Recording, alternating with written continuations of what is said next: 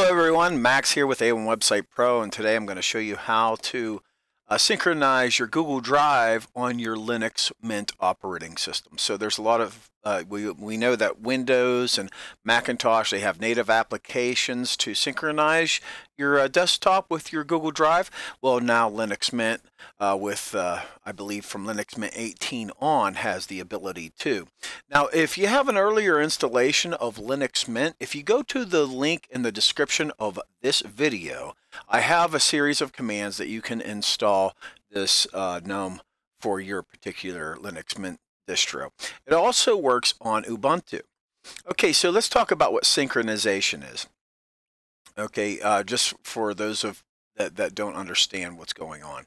If we get into a folder here and we go, get, go into our documents folder and we have a document here that we have created what we would like is for this document to be updated across all of our computers. Let's say you have a work computer, a home computer, maybe a laptop computer you travel around with, maybe a tablet, and your smartphone. Well, you want that document to be updated on all those particular devices. And so that's what synchronization with Google Drive will do for you. Uh, so you're not overwriting the bat, you know, overwriting your changes over and over again.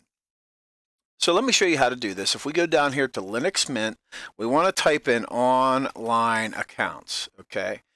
So bring up the online accounts and let that load up. And you notice we have a bunch of them. We have them for Nextcloud, Microsoft, Flickr, so on and so forth. But we're going to use Google and let that load up. And what we want to do is type the uh, your email address. Full uh, Gmail address. So we'll use faithmccullough11 at gmail.com. Click Next.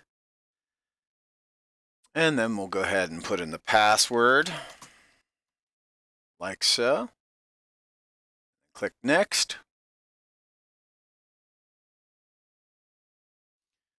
Let that load up.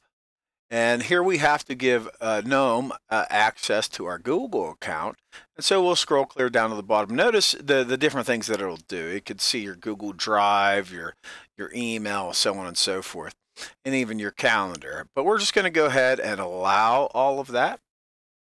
So we trust the GNOME.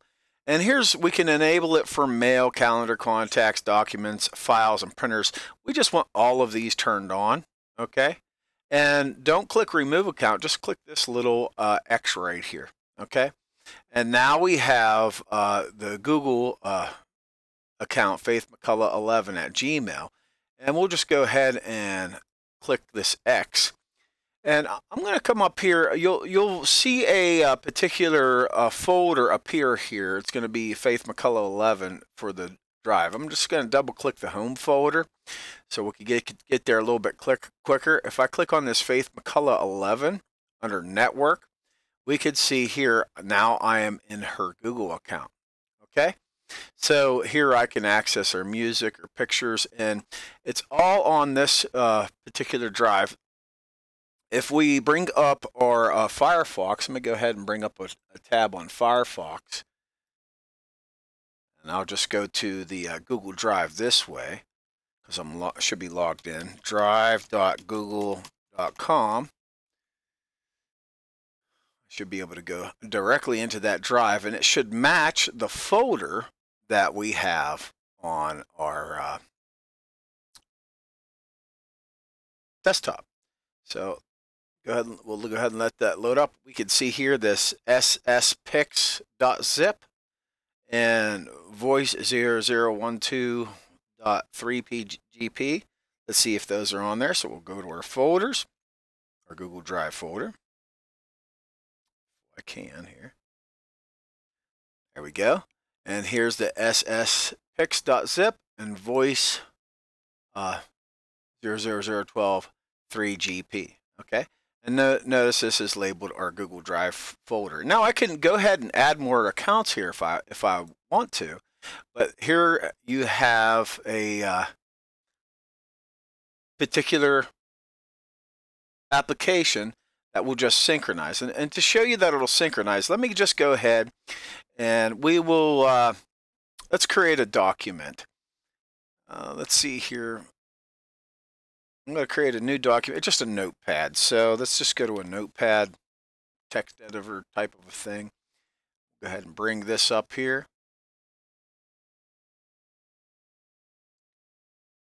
And here's our notepad. And we'll just say this is a test for, uh, shoot, Let's see here. This is a test for Google Drive with Linux Mint. Okay, and I'm going to go File, Save As, and we're going to go to our, our Google Drive folder. And we're just going to save it right here, and we'll just put this as our uh, test document and UTF-8 encoding, and we'll click Save. Okay, now notice it's saving. Let's go ahead and look at our online Google Drive and look at here. We have test. And if we double click on this and open it up on our online Google Drive, notice it says this is a test for our Google Drive with Linux Mint. Okay, and uh, we could actually open with Google Docs in this. And let me go ahead and we'll do a little bit of editing online, doing the online now you have to be online in order to have this work for you. If you're not connected uh, to your internet, we'll fix this uh, Google here just to make sure this uh, capitalization. Google.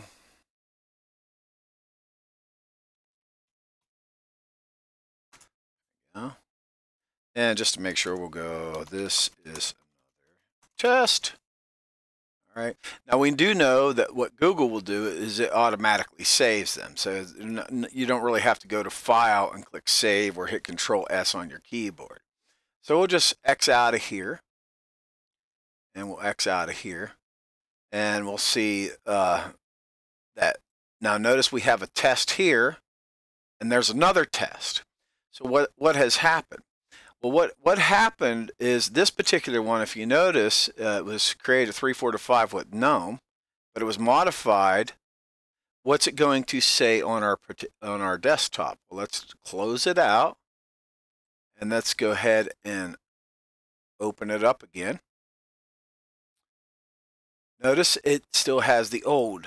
Uh, this is a test for uh, Google Drive with Linux because Google Drive created a new file. So we have our original test. Okay, let's see. Let me show you here. We have the original test. This one's the original created with GNOME. This one has the one with the, the big O on Google. But notice this one right here, test. It was created by Google Docs. All right. So it created an additional file because Google did not have the ability to edit this particular file. It didn't have the uh, um, the software because we, we, use Google uh, Docs in order to create this new one. Now, so why did that happen? It's because Google can't edit this particular document here. It can only open it up so you can read it. So whenever you open this document uh, test up, it's going to have that original, the one that you, the, the original one that you made with GNOME. Here, let me double click it and show you. You still see, I still have the, uh, the, the, the unusual capitalization on Google, and we don't have our next line. So I hope this helps you understand that the, the, synchronization, if you have another computer that can open this up on the desktop, just like we have it here, then you'll be able to um, edit this particular file as long as you have that software. Now let me go ahead and click on home and then we'll go back to Faith McCullough and you see now we have two tests. We have this test and then we have this test. Okay, so let's go ahead and open up the one test. You can see here, this is the one with the unusual capitalization. Now let's open up this other test and see what happens. Notice how it opens up the browser and brings me to the Google Drive document. Okay, that's because this this this is the link now for for this uh, this new one because I went went into edit. So I, I if you don't want Google Drive to um, do that to create a new file, then you never want to use Google Drive to you know open a file that it's not uh, licensed to do.